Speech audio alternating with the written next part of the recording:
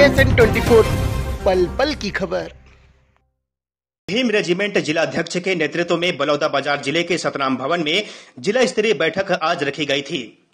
बैठक में भीम रेजिमेंट के प्रदेश अध्यक्ष एवं संस्थापक दिनेश चतुर्वेदी सहित प्रदेश के पदाधिकारी बैठक में शामिल हुए।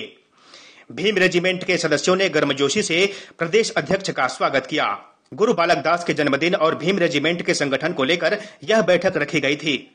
भीम रेजिमेंट के प्रदेश अध्यक्ष दिनेश चतुर्वेदी ने सर्वप्रथम बाबा साहब डॉक्टर भीमराव अंबेडकर और गुरु बालक दास की आरती कर बैठक की शुरुआत की, जहाँ प्रदेश अध्यक्ष ने कहा कि आने वाले समय में भीम रेजिमेंट औरा बांधा को लेकर बड़ा आंदोलन करेगी। 1860 से अब तक औरा बांधा में धारा 144 लगा हुआ है।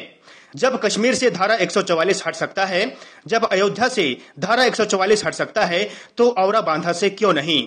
भीम रेजिमेंट ने यह भी कहा कि जब तक और बांधा से धारा 144 नहीं हट जाता, तब तक हम आंदोलन जारी रखेंगे।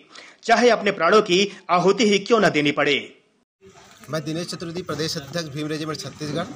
आज, जो बैठक है, वो संगठन विस्तार और सतनामी समाज के गुरु गुरु बालक दास जी की जन्म जयंती के उपलक्ष्य पर यहाँ पर रखा गया था।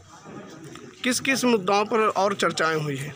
यहाँ पर औरा बांधा आंदोलन सबसे बड़ा मुद्दा था कि औरा बांधा आंदोलन सात जनवरी 2020 को होना था 21 को।